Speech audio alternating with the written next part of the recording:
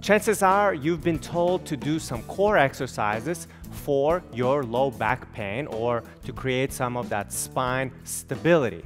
Uh, today we're going to be talking about whether you should be bracing or uh, drawing in your stomach, uh, your core muscles specifically, uh, when you do those core exercises. All right, so let's get started. My name is Leon Turetsky, and I'm from backintelligence.com, where we help people manage their back pain from home as well as help them fix their postures.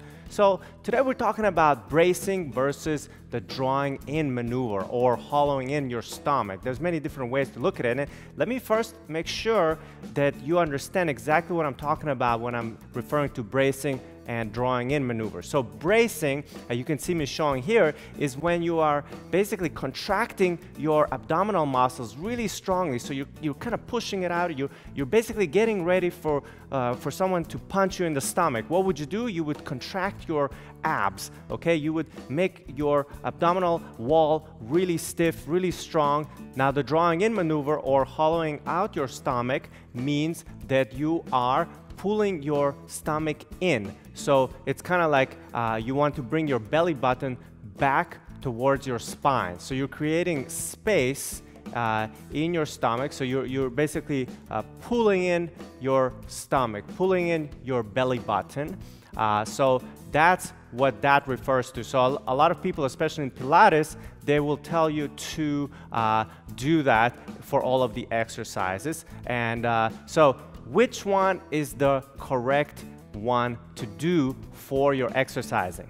Well, I don't think it's as simple as uh, only do bracing or only do uh, pulling in maneuvers, right? I think there's room for both, okay? Now, I looked at a bunch of uh, research and a bunch of studies. There's a prominent spine researcher uh, by the name of Stuart McGill, and he did a lot of studies where he measured the muscles being activated during different exercises when you brace versus hollowing out. And he found that there's a lot more abdominal muscles engaged during bracing versus the drawing in maneuver. The drawing in maneuver, he found, was activating the transverse abdominis, which is one of the deepest core uh, muscles. So it did really well for that one muscle specifically, but if you want to engage your rectus abdominis, your external obliques, your internal obliques, uh, then the bracing activated a lot more abdominal muscles at once. So he's very much into bracing all the time. And, and his, uh, his idea is, you know, don't even do the drawing in maneuver, only do the bracing, okay? And then there are other studies out there that really show that uh, the drawing in maneuver really targets the transverse abdominis and internal obliques quite good, especially the transverse abdominis muscle, which is one of the deepest um, uh, core muscles. It's the closest one to the spine. So, uh, you know, the question is, shouldn't you want to strengthen that muscle alone as well? And that's where I'm going with this is that I think there's room for both, okay? Uh, if you're going to do a plank, for example, you can choose on one day to just pull in your stomach while you're doing it, knowing that you're not going to be contracting the, you, the outer core muscles as much. You know, you're not to get the abs working uh, in your favor. However, you'll be targeting that uh, deep, localized muscle, the transverse abdominis, which really is uh, protecting the spine. It's the closest, it's one of the closest core muscles to the spine itself, so it provides a lot of stability for your spine. So knowing that, you can do the plank just, you know, hollowing in your stomach and knowing that's what you're doing that day.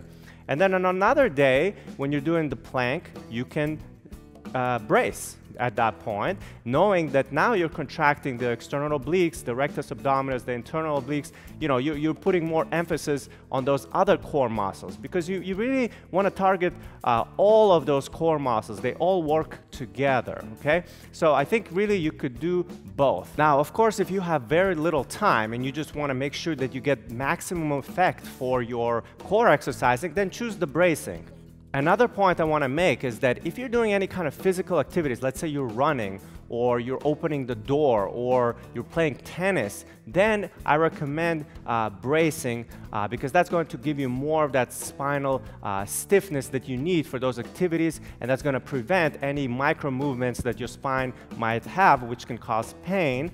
Um, however, if you're just sitting or walking, then drawing in your belly button might be better because you're setting your posture that way. Because it's very difficult to sit all day trying to contract and brace your core, but you pulling in your stomach a little bit while you sit is very manageable. And I do it myself all the time. So depending on what activity you're doing, one can be better than the other, okay? So uh, I think the pulling in of the stomach is really good for aligning your pelvic and, and your low back uh, because a lot of us have an, uh, an excessive anterior pelvic tilt with, with our low backs being arched. So actually pulling in uh, is, is good for that. And you can also combine the two together a little bit. So you can pull in and contract. Uh, you could also try to do that okay? Make sure you're breathing all the time, no matter if you're doing bracing or pulling in, make sure you're still breathing. That's the most important thing. So that's it for this video and I hope you enjoyed it. And so what I'm trying to say is that there's room for both, I think, and I do both of them. Uh, and I'd love to hear from you. What do you think? Leave a comment below. Also, if you like this video, please give us a like as well as subscribe to this YouTube channel for more videos like this. Also, if you'd like us to send you uh, some of the best core exercises that you can do to uh, engage your core muscles and uh, prevent some of that low back pain and, and help you fix your posture, I'd love to send you uh, a free PDF with those exercises. These are safe for your spine core exercises. So if you'd like to get them, there's going to be a link to get them somewhere here on the video or down below. Just go to that uh, page, enter your email, and we'll send you that PDF completely free. That's it for today. See you next time.